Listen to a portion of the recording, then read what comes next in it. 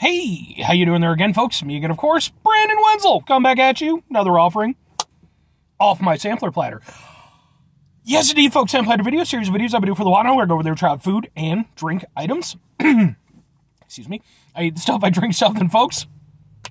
I'm gonna talk about the stuff. I'm gonna let you know all that you need to know about hopefully delicious stuff that at the time I'm doing this, folks, this review was supposed to be an entirely different re- different review, but it's not now. We'll get into that in a moment. But yes, indeed, I'm going to eat some stuff. I'm going to talk about it whilst I'm doing so. I'm inside the truck. I'm also wearing a cool shirt. Folks, when I wear a cool shirt, I like to highlight the cool shirt. What cool shirt am I wearing? Well, it's pretty obvious. Boom! My Soul Share shirt. Which is hard to say. Soul Share shirt. Uh, yes. Uh, Soul Share, they, uh, they were a local Illinois band. Um, extremely good dudes. I ran into them. They were one of the openers uh, for a show that I was at. Ended up going over there and kind of talking with them. I went to go see them a couple times. All of them extremely cool dudes. Uh, sadly, they're no longer you know, functionally a band at this point. Kind of split off, done their own little things. But really good dudes. I actually have some videos of performances of theirs that I attended on this very channel. And uh, their stuff is still, I think, available on like Bandcamp and stuff like that, just in case you want to go over there and take a look. They are a really good band, especially if you.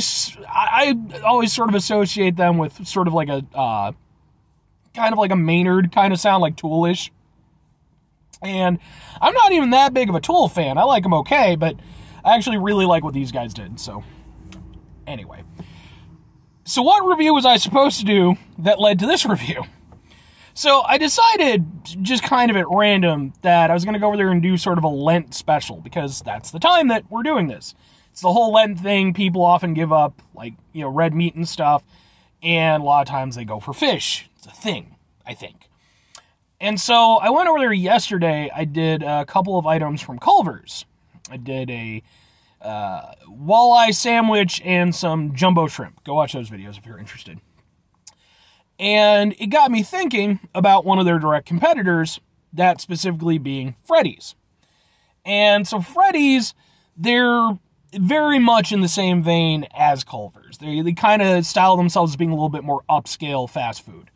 And I've done a couple things of theirs over the years. I did like a hot chocolate or frozen hot chocolate uh, shake. Uh, I did like a jalapeno burger and like something else, I think. Chicken sandwich. I did one of their chicken sandwiches. So I looked up their website and they're like, oh yeah, no, we have a deluxe fish sandwich going on right now. So boom, let's do this. So I made my way out. I get to the, uh, you know, get to the drive-through menu and I'm looking for it and I'm just not seeing it. But I think, okay, maybe it's one of those things where like, you know, because it's on the website, it says it's available. And I'm like, maybe it's just not on the, the outdoor menu yet. You know, sometimes that's the case. So I went over there and I was like, eh? And they're like, no, we don't have it. I'm like, all right, well, fuck it. So, as it turns out, there was a Wendy's right across the street. And they've got a fish sandwich.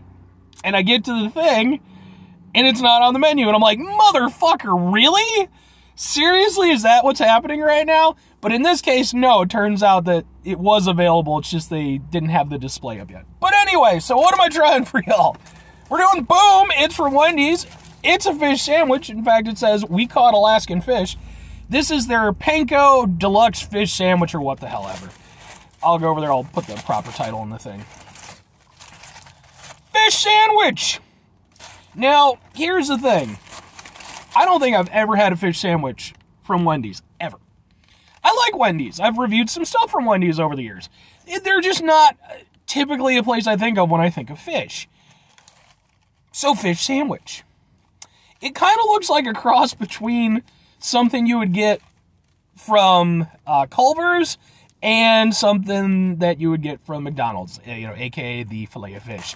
It's square, but it does appear to have like a, a little bit more prominent coating than the filet of fish. So we'll we'll see. And it looks like it's got maybe some tartar sauce, and it looks like a decent amount of tartar sauce. Uh, and then just for sake of a thumbnail. Ha ha ha! Thumbnail. So let's try a fish sandwich from Wendy's.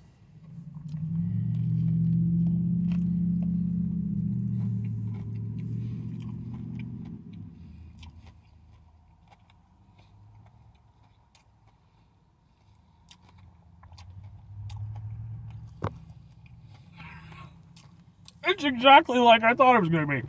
Yeah, um, it's like a slightly more upscale version of the fillet of fish. Like seriously, the the flavor is similar. Um, the breading has more flavor. It has more of a crunch to it.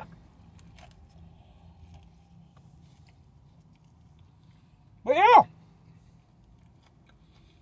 Mmm, no. Fuck no. I am not doing pickles Oh my god. You people and your pickles! Stop it! I already have to deal with my chicken sandwiches. I am not having pickles on a goddamn fish sandwich. That's not happening. Yeah, I mean, it's okay.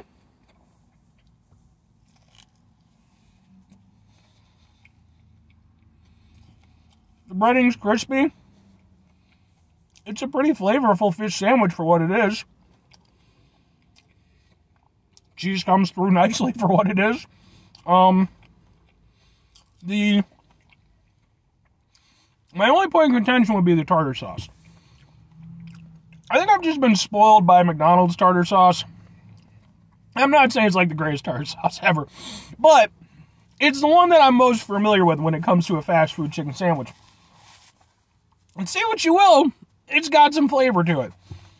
This one, it's there. It gives it sort of that little extra tang, but it, it's not as it's not as heavy as the uh, the McDonald's one, so you don't get as much flavor from it. Fuck off with your pickles!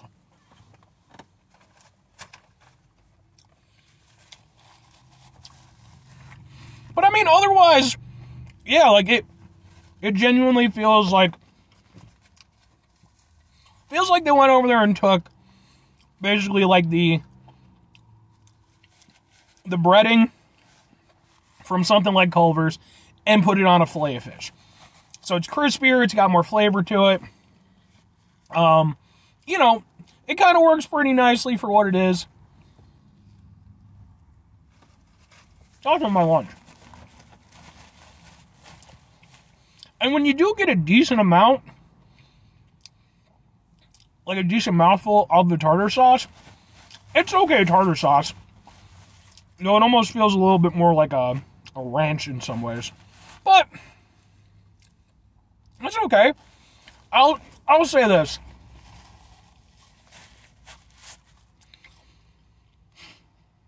Well, okay, two questions have to be asked. Would I get it again? Would I recommend it? No and no. Here's why. It's not a bad sandwich. Uh, perfectly fine with it for what it is. But for me personally, because it does thread that line between something like Culver's and McDonald's, I don't have a place for it. Because if I want a, you know, a higher quality uh, fish sandwich, I'll go to Culver's. I'll get their cod sandwich or their walleye sandwich. I know that's going to be, you know, fish forward. It's going to taste fresh. It's, you know, it's going to be a solid fish sandwich experience. If I just want a trashy fish sandwich for the sake of nostalgia. I'm going to get a filet of fish. That's what I'm going to do. This doesn't have a spot for me because it's just, I don't want a more upscale version of the filet of fish. I just don't. I want the filet of fish because it's, it has that nostalgia factor. It's got the tartar sauce that I like. There, you know, there's something to it. So, like I said, for me, I just, there's no spot for this in my life. Even though it's not bad. I don't hate it or anything. It's just, you know, it's not good enough to be anything that I really need to be part of. It's not bad enough to be anything that I would shun. But at the same time, it's just very in the middle. So I wouldn't get one. And as for recommending it, it's not bad. But again, I just feel like you've already got the two sort of camps. I mean, I'll say this if you don't have like a Culver's or something near you, and maybe you do want something that's a little bit more upscale from the uh, the fillet of fish, give it a shot. It's not bad. I just, for me, I just don't see a purpose to it. Anyway, folks, that's going to do for me on this one. Five things before I get out of here. Have yourself a great rest of the day, spectacular rest of the week, monumental rest of the month, dependence rest of the year. And folks, you can go over there and have yourselves a truly filet of fish-tastic rest of your life. Because at the end of the day, I mean, it's the OG. You can say what you want. It's the OG. I don't know how far I'm going to go with this Lent special thing. There's at least a couple other places I'm going to try out. Part of me wants to go over there and make a trek to a Long John Silver's because there's not a lot of them left. But man, that would be that would be a little bit of a trip. So we'll we'll see if that happens. Anyway, final two things. Number one, try to bring some positivity in the world. It's not always possible. It is, however, always appreciated. But you can't do it all the time, I know I can't do it all the time. Here's what you're gonna do, folks. You're gonna try not to be an asshole. Not the easiest thing in the world to do, folks. Especially when we're over there, we're trying to get fish sandwiches from places and they don't have them, even though their website says that they have that. I mean, what am I supposed to do with that, folks? What am I supposed to do with that? And that's just, and I have to admit, I was a little hesitant about going over there and getting the fish sandwich from this particular Wendy's because on two separate occasions they fucked up my order in interesting ways. So I was like, am I going to order a fish sandwich and like just get a live goat? But no, I got a fish sandwich. Or a very well disguised lot of goat. And if that's the case, fuck making hamburgers and shit. You need to go into the business of making live goats look like things that aren't live goats. I don't know what business that is. Um, but yeah, live goats aside and their discretions. It's important when we run into situations that are stressful, maybe distressing. Take a step back, try to mitigate the level of assholishness in our lives, hopefully do better for ourselves and for those around us. Very final thing, folks, do the thing. Whatever the thing is for you, that's what I want you to go out and do. folks, maybe you work in the business of disguising goats as things that are not goats. Maybe this is some sort of secret sect of society that has existed since time unknown.